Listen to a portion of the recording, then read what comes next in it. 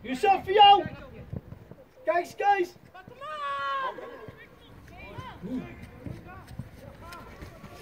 Sluit aan, middenlijn!